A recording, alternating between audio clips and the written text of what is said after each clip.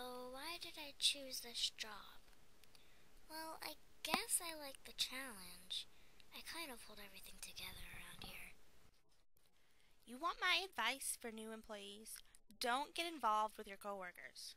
I was dating the scissors for a while, but he said I was too clingy. I mean, I thought I was attractive, but just don't do it. I think the stapler is trying to take my job. Yeah, yeah. That's the worst part of this job, the pressure. I mean, he just dives right into his work, and I don't know if I can keep up. There's definitely office drama. Take Paperclip. I don't know why she's so bent out of shape. Just 'cause I show initiative. If she wants to get ahead, she gotta show some bite. Why am I retiring? Well, I've been feeling really worn down lately. I think they already found my replacement. She's a, a mechanical pencil.